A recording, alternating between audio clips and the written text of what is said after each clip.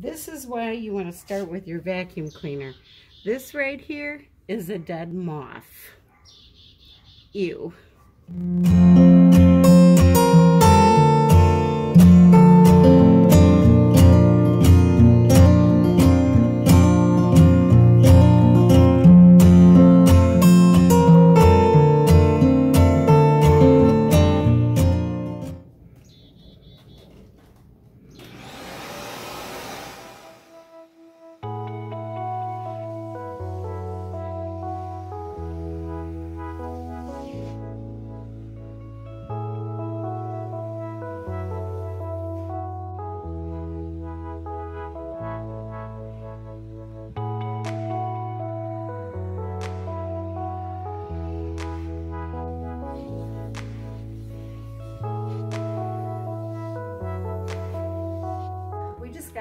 This bedroom set and the first thing you're going to do with the bedroom set or any furniture that you pick up is going to be clean it.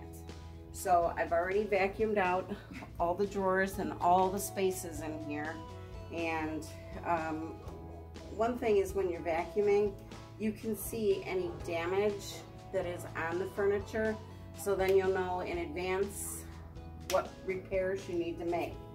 So to clean this I suspect this was in a, um, a home where there was smoking going on and you can just kind of see if, if Jim can zoom in a little, you can kind of see the nicotine or tar, whatever that is, just hanging onto this piece. So what we're gonna do is pour some Krud Kutter in a bucket I want to go crazy. but it's just a cleaner and degreaser, Krud Kutter. I'm going to put some gloves on. Maybe not.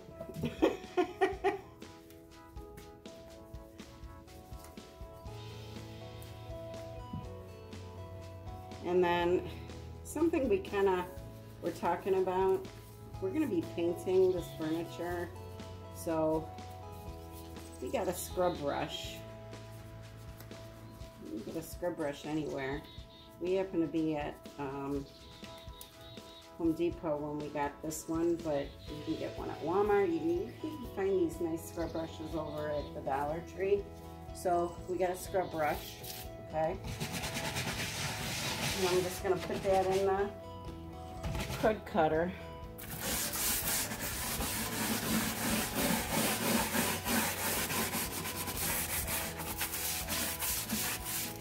The brush allows it all these grooves, the Krud Kutter to get into all those grooves. So you're really gonna scrub and clean your furniture.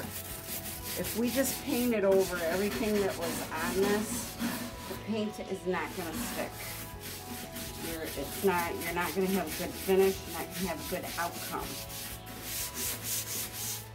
So the most important thing, really prep, prep, prep.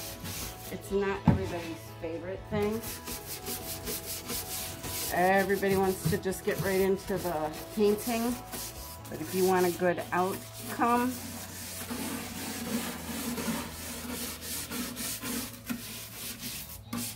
prep, prep, prep.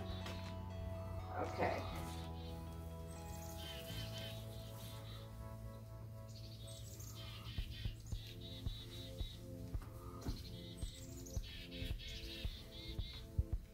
And when you're cleaning, you can pay attention again to anything that may you may see that needs to be repaired.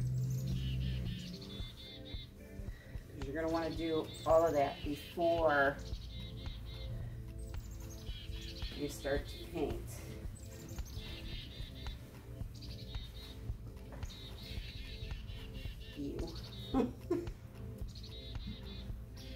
Basically just getting off other people's view.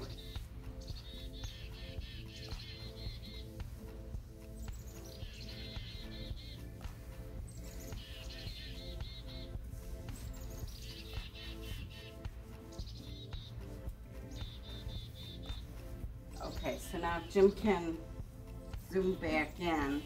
It still needs to be rinsed.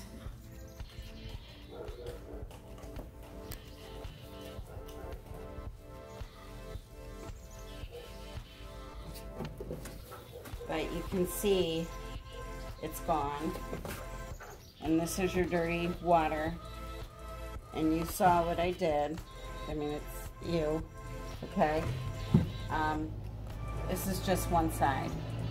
So when I go around this whole entire thing, the inside and the drawers, it's gonna be really ew.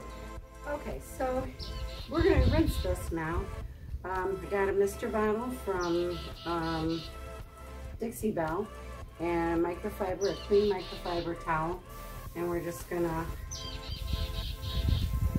some mist, some water on it, and then we're just gonna wipe, basically wipe it dry.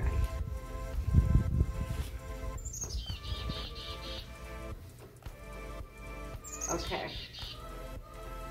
So,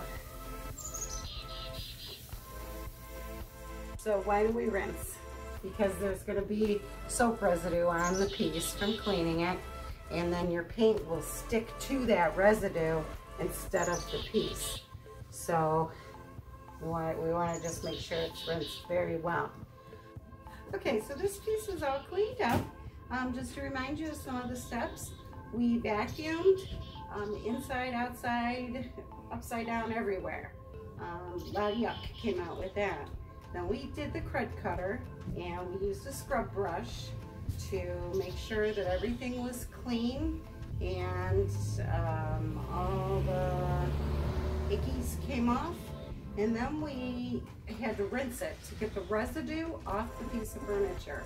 So I used the Dixie Belle Mister bottle and a clean microfiber towel to make sure that it was all rinsed off.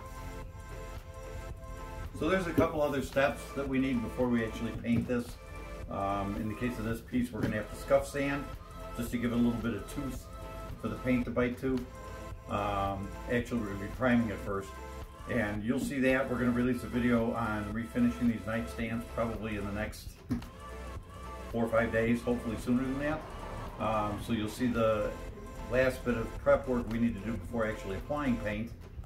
Um, and you also can see that in some of our other videos where we actually scuff sanded and got things ready for painting. So we will see you in the next video. Flipping awesome.